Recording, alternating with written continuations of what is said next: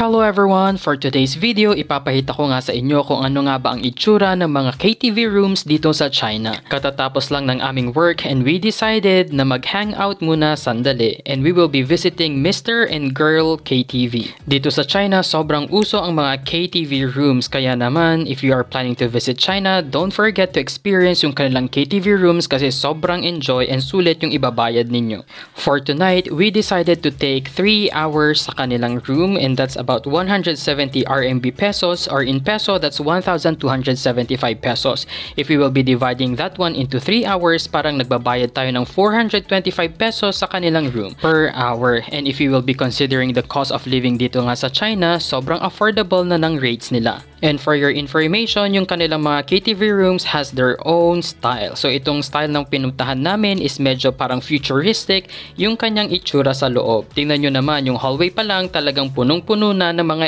LED lights. Kung sa Pilipinas, yung ating mga KTV rooms ay literally for singing only, sometimes hindi pwedeng kumain sa loob, yung kanilang mga KTV rooms dito sa China is that para siyang pang party style.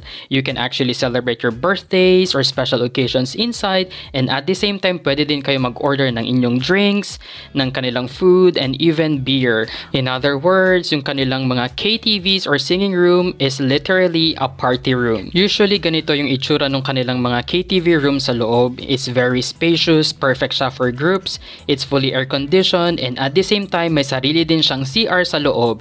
And in addition, syempre soundproof din yung buong room. Kaya kahit na i-maximize natin yung volume ng speaker sa loob, hindi tayo maririnig sa labas. Another thing about their KTV rooms is that you can fully control yung setting sa loob ng kanilang KTV. So you can adjust the temperature, you can adjust yung kanilang mga lighting, even yung sound effects ng speakers. Pwedeng pwede nyo silang i-control gamit yung kanilang controller or touchscreen controller sa gilid. Since I've mentioned earlier na this singing room is also considered as a party room. May mga games kayong pwedeng gawin dito, especially for drinking games. Meron silang mga dice dito just in case you wanted to play some games. And of course, right now, kasama ko yung aking mga workmates and we are literally enjoying the night kasi bukas, pasukan na naman. If you are thinking na puro Chinese songs lang ang pwede ninyong kantahin sa loob ng kanilang mga singing rooms, you are wrong kasi pwede kayong kumanta ng English and take note, talagang updated sila sa mga English songs kahit na bago pa yan. Wala silang mga songbook dito and usually you can actually scan yung kanilang mga QR codes and literally choose any random song that you want. And that's it. The next time you're gonna be visiting China, don't hesitate to enter yung kanilang mga KTV rooms kasi they are very welcoming to foreigners.